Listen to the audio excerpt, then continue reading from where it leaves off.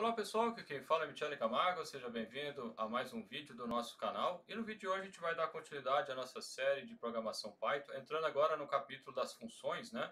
E a primeira coisa que a gente vai falar é como é, chamar as funções, né? Que seriam as chamadas das funções. Mas antes disso, gostaria de convidar para curtir esse vídeo, compartilhar esse vídeo e se tornar membro do nosso canal, né? Porque aí você vai estar nos ajudando também, né? Além de nos ajudar, você vai ter um acesso a uma série de materiais exclusivos, como é, videoaulas, é, cursos completos, dependendo da modalidade, alguns e-books que nós temos. Né? Então basta você ser é, nosso membro do nosso canal, né? Para poder é, ter acesso a tudo isso. Também desconto nos nossos cursos, caso você tenha interesse em algum curso nosso, você também tem desconto é, por ser membro.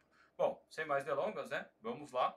É, o que seriam as chamadas das funções? Né? Chamar a função é, nada mais é do que digitar ela, né? Só que a gente tem que digitar ela corretamente. Então, quando eu vou chamar uma função, eu vou digitar a função específica. A gente já viu algumas funções aqui, é, desde que a gente começou essas aulas, né? Então, o primeiro exemplo, a gente tinha lá a função type.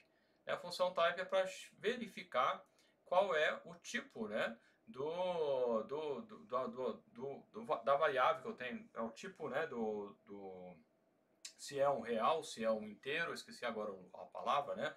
É, o tipo do atributo né, é, do meu, meu elemento aqui. Né? Então, type 3.5, aqui eu sei, né, a gente sabe que 3.5 é o, é um número real, né, ele vai colocar, vai responder lá no Python né, como class float, né, que é o ponto flutuante, né, que é o que a gente chama de números reais aqui é, no Brasil. Mas é, a gente pode ter a, a variável, atribuir né, uma, uma determinada variável a e aí eu peço qual que é o type A, né? Porque às vezes eu não sei qual que é aqui, olhando por número eu sei, né?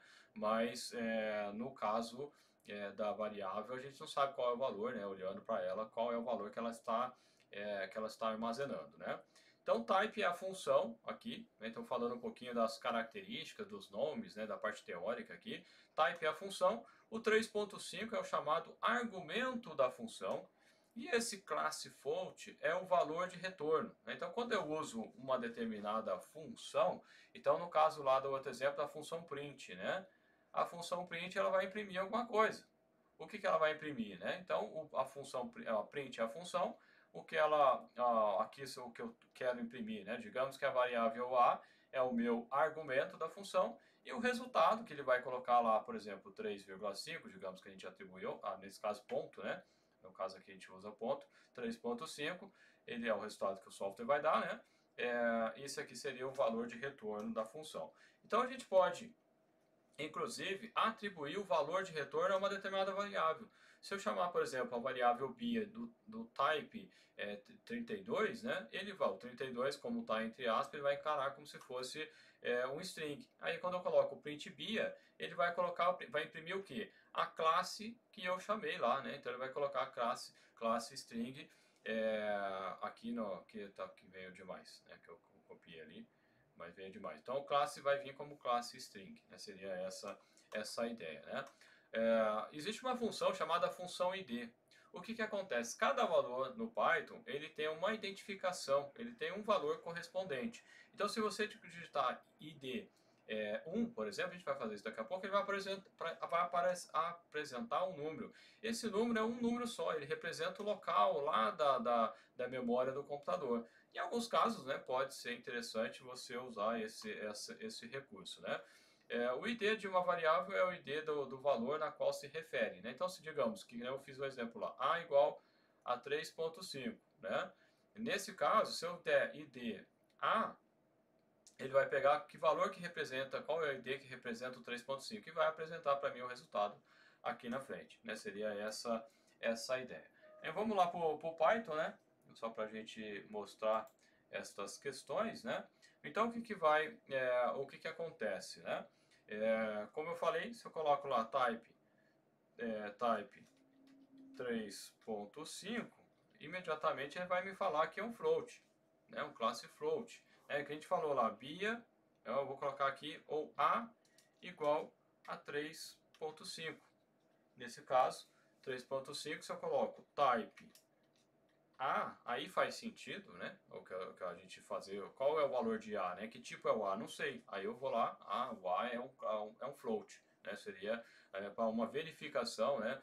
Em algumas lógicas de programação a gente fala, se o número não for tal coisa, faça isso. Se for aquilo, né? Faça, né? Na loja, na lógica, é, se então, se não. Se eu digitar agora ID A, que nem eu falei, ele vai mostrar para gente esse número, ó, 59, 68, 24, deixa eu ver aqui, 59.682 e 400. Esse, esse aqui seria o nome, o, a posição da memória que ele guarda o valor de A, e o valor de A, nesse caso, é 3.5. É, né? então, é, qualquer variável que eu for chamar, é, eu, basta eu digitar a variável. Então, se que nem o caso, né? Veja o seguinte, se eu colocar print A, antes de eu dar o Enter, repare que o print aqui ele aparece, ele fica uma cor diferente, ele fica meio rosadinho, assim como o ID, assim como o type. Então, sempre quando eu tenho uma função é, inerente do Python, ele vai ficar com essa cor é, roxinha aqui, exceto se você for lá e mudar os parâmetros. Pode mudar essas cores, inclusive, se você quiser. Né? Mas é, veja que quando é variável, A, por exemplo, igual a 3.5, ele fica preto mesmo. Então tem, ele tem, o Python ele tem uma série de cores que representam determinadas coisas, né? Que você pode é, atribuir de acordo com a sua preferência, né? Mas por padrão, eu não mexi, então por padrão é isso aqui, o resultado, né? Dá em azul, né? A variável em A. Eu dei o Enter, ele coloca lá o valor de 3.5. Mas se eu fizer errado, print a e der Enter, ele vai dar erro. Por quê? Porque o comando é print com letra minúscula. Então todos os comandos do Python são com letra minúscula. Então se eu colocar print com letra maiúscula, ele entende que é uma, uh, uma variável. Ele entende que é um. Veja que ele coloca aqui o erro, né? O erro, o nome print is not defined. Então, ou seja, ele não está definido. Então, ou seja, é, se eu quiser definir print é, igual é, imprimir, por exemplo,